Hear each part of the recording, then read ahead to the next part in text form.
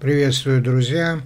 А, у нас э, в среду в 20 часов бесплатный ликбез э, по проблеме отвыкания от зависимости, от разных э, от тортиков, там, которыми заедают стресс, от наркомании, от сигарет, ну, в общем, от много чего, от вредных привычек и так далее. Не забудьте, пожалуйста. Это первое. А, второе, поскольку YouTube могут какой-то момент э, закрыть, выгрузить, загрузить или что-то там с ним делать, прошу одновременно подписываться и на канал э, Telegram. А, ссылка там в описании под видео.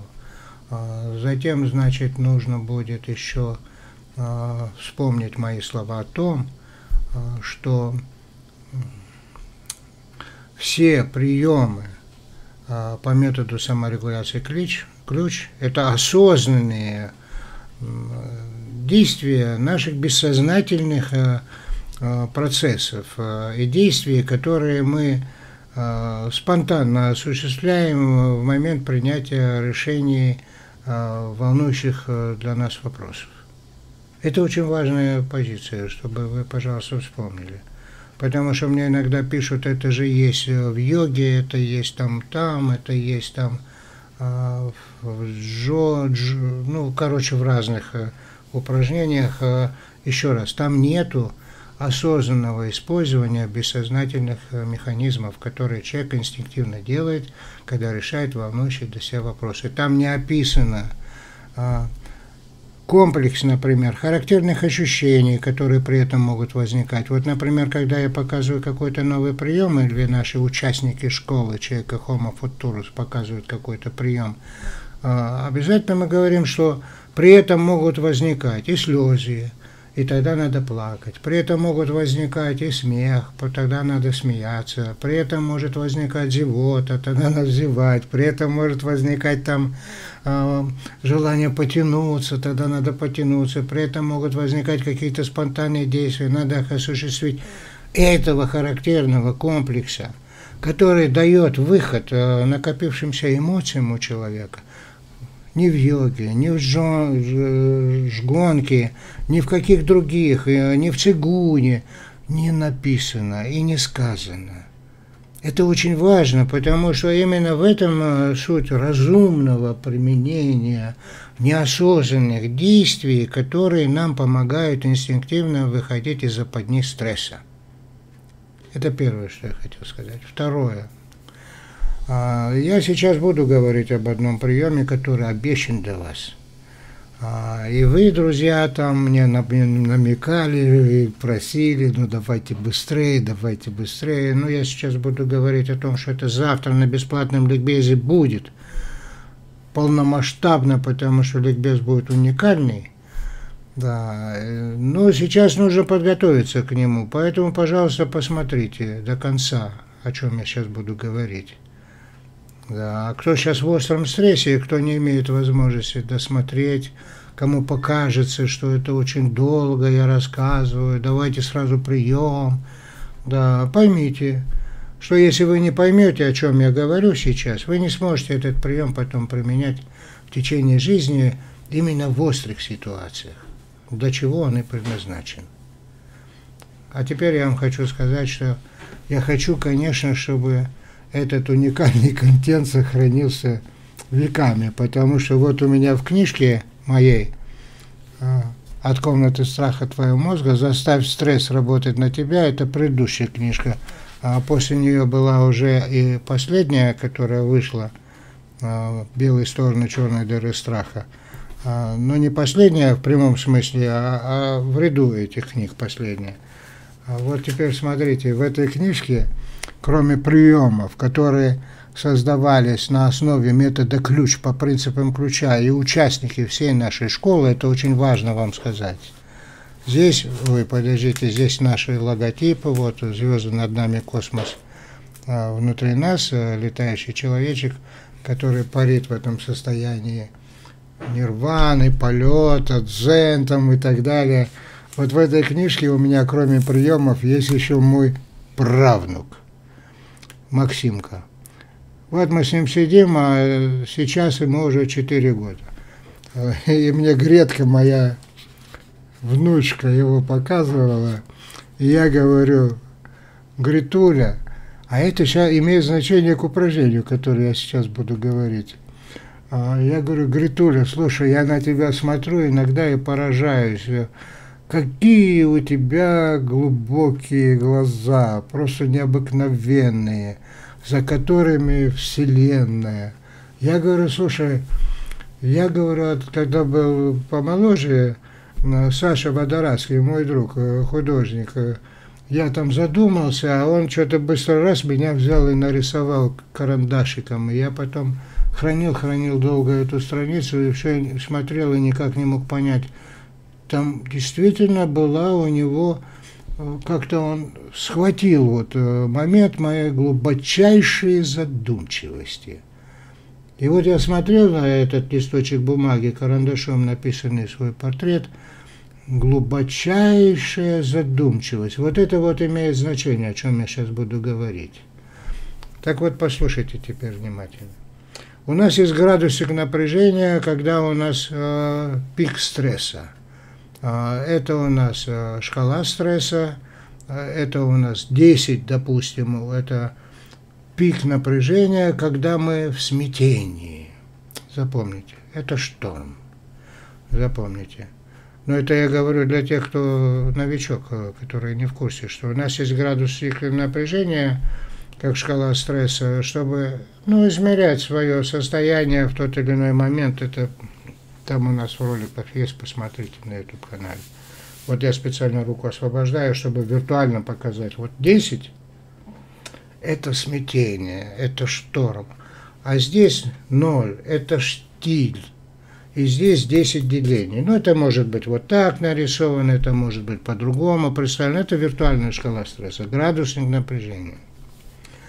Так вот, если 10 это шторм, это смятение, значит, чтобы перейти на ноль за 5 секунд обещанных, то есть я же говорил, упражнение будет э, как выйти из стресса за 5 секунд. Так вот, я сейчас веду подготовку вас к тому, чтобы вы поняли, на чем это основано, потому что вот будет ликбез э, в среду в 20 часов, бесплатный, входите все туда, потому что там во время трансляции на YouTube-канале у меня будет сброшена ссылка на Zoom, и вы можете задавать любые волнующие вас вопросы, и я буду давать развернутый ответ. Так вот, чтобы быстро выйти из пика напряжения, выйти на безмятежность, на ноль,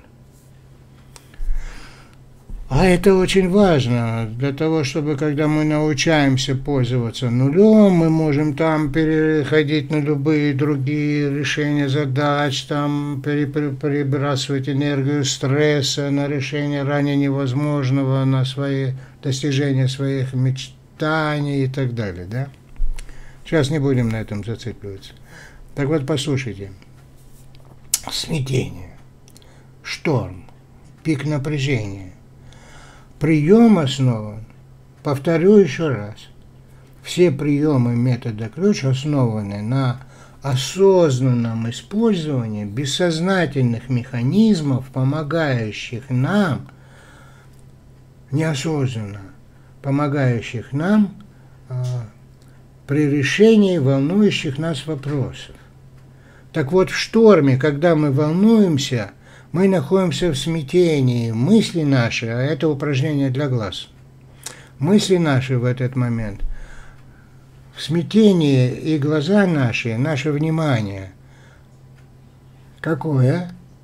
Оно в поиске ответа. Видели, что у меня произошло? хаотичное. Запомните, упражнение можно условно назвать, мы потом вместе его назовем более правильно, более точно, обсудим, пишите комменты.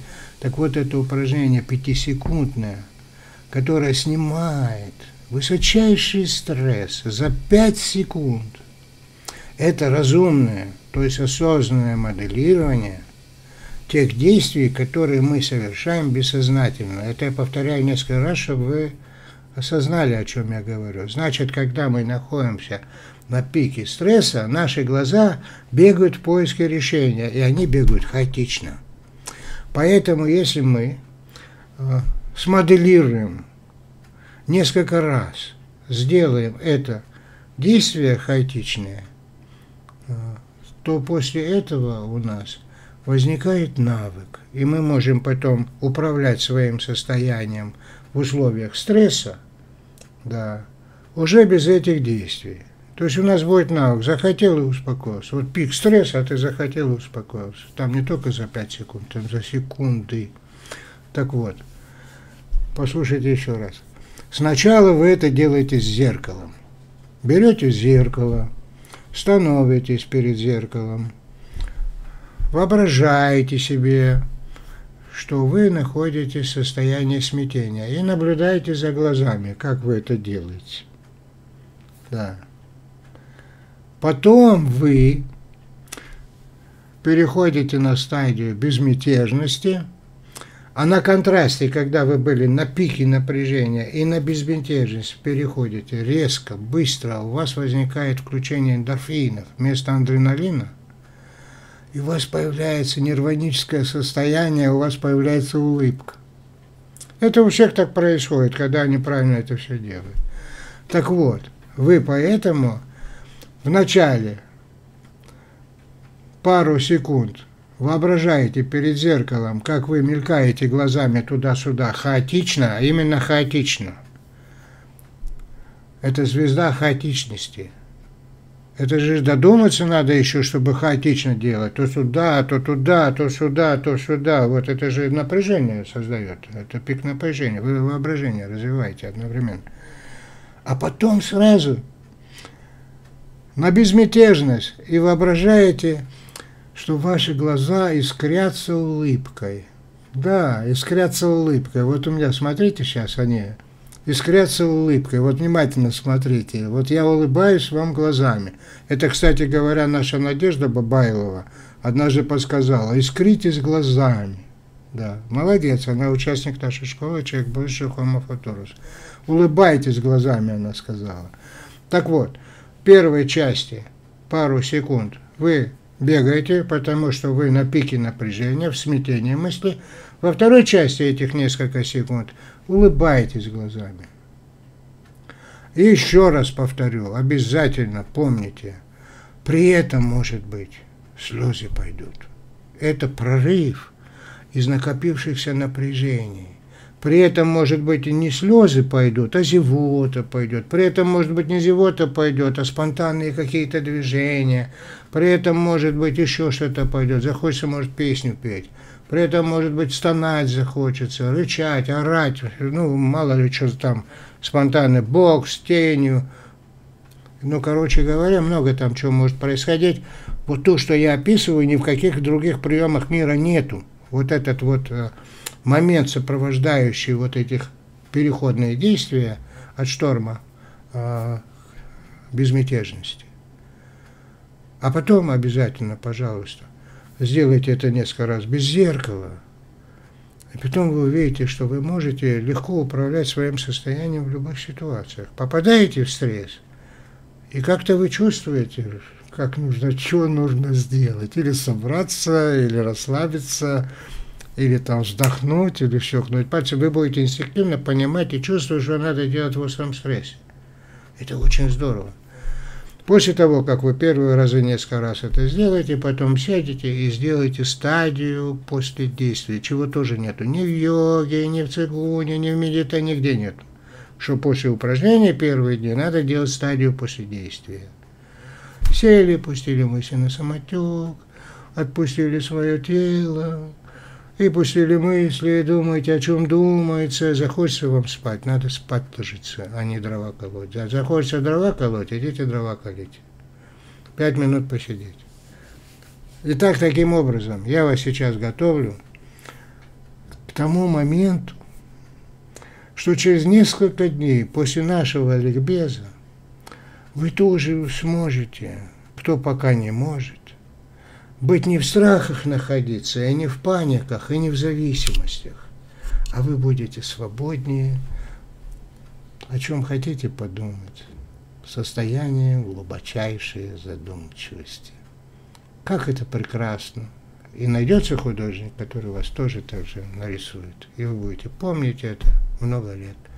Потому что вы и через 10 лет, и через 20 лет, если вы научитесь выходить из острого стресса, через звезду хаоса на безмятежность, если вы обретете это в глубине своего сердца, души, навык такой, лучше управлять своим состоянием, чем это делали раньше, вы сможете достигать реализации своей мечты.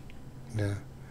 Ну, это я вот специально и учитывая то, что это запомнится не только на Ютубе, а YouTube канал, если уберут, то, по крайней мере, на Телеграме. Да, поэтому записывайтесь и на Телеграм, да, там будут еще уникальные вещи такие, да, и здесь оставайтесь тоже. Таким образом. Гретке привет, Максимке привет, и всем нашим друзьям, и всем нашим участникам, участникам школы «Человек будущего» Homo Futurus. До завтра.